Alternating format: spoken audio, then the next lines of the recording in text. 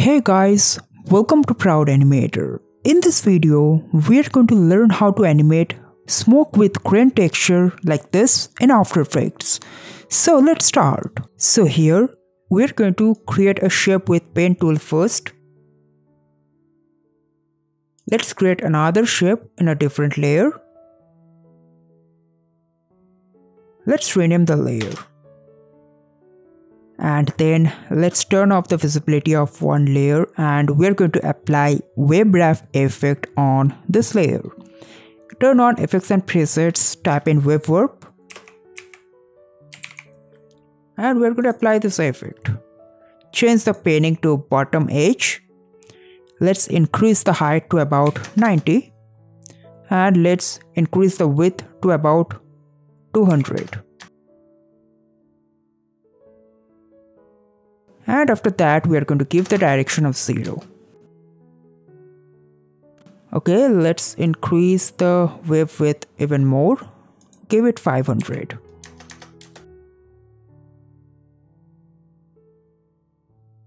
maybe we can increase even more.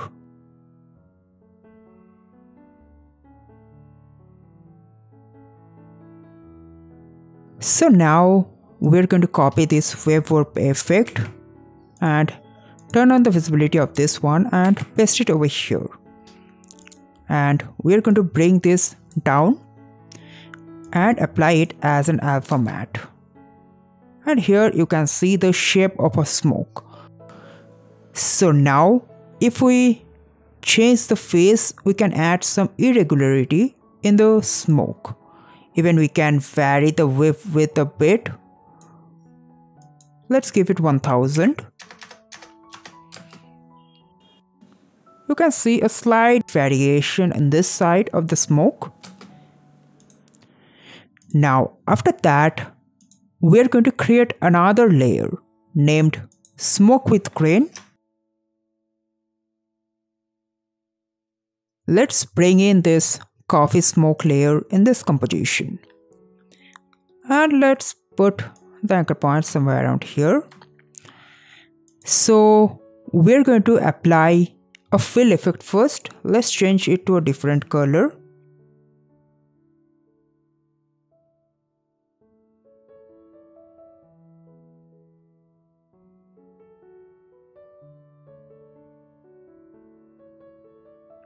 Alright, now we are going to duplicate this layer once again and we are going to scale it down in the x-axis and slightly scale up in y-axis.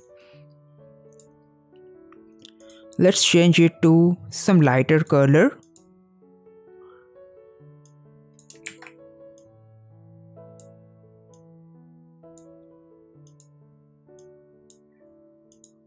Alright, now we're going to apply roughen edges. So we're going to apply this effect on this layer. Now we're going to increase the border to about 190 well we have to increase it even more. And we're going to change the scale to about 15 and you can already see some grain effect over here. And let's change it to spiky. And it is going to give even better look over here. So let's put it somewhere around here and we're going to scale it up a bit.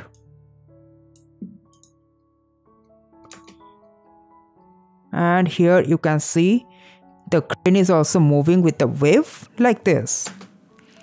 So after that if we zoom in we can see the grain is not animating. So we can do that as well. Slight noise animation so for that, go to evolution options and we're going to add an expression on this random speed.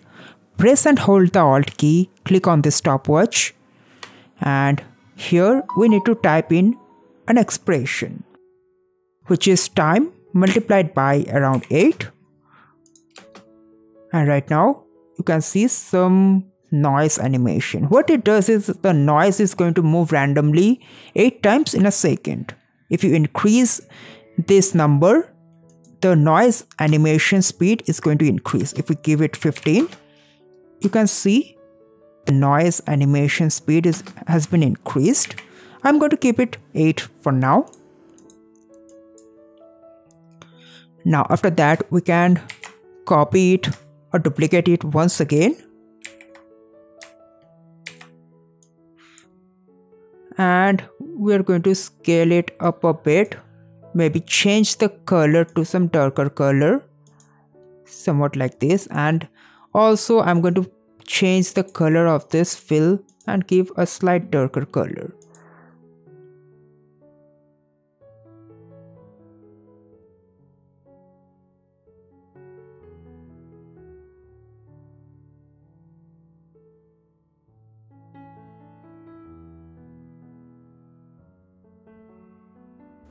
Okay, so here is our grain textured smoke. Now this edge is very sharp still now. What we can do is we can simply copy this roughen edges effect and apply it on this layer.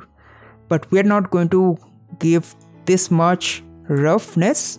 So we are going to increase it, I mean decrease it to about 15.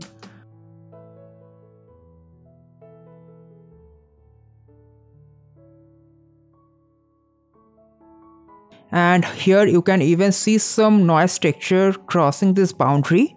For that we can duplicate this layer put it above and apply it as an alpha matte so after that you can apply it to a scene. So we're going to place it under this copy cup. Let's lock up the layers and we're going to bring in this smoke with grain below the coffee. So let's put the anchor point somewhere over here. Scale it down a bit.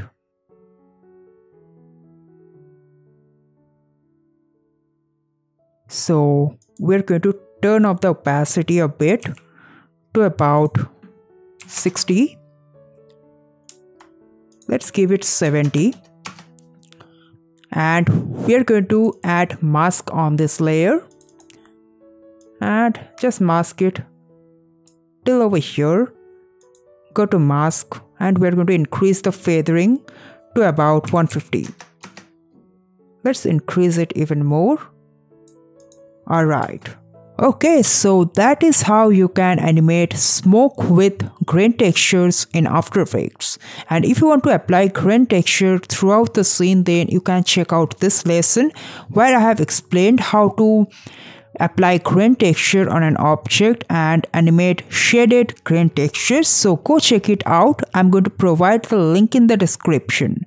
And that is it for this lesson. If you liked it then make sure to hit the like button. If you have any doubt regarding the lesson make sure to comment down. I would be happy to help you out. And if you're here for the first time make sure to subscribe the channel and hit the bell notification button to stay notified for all the future updates. Until then goodbye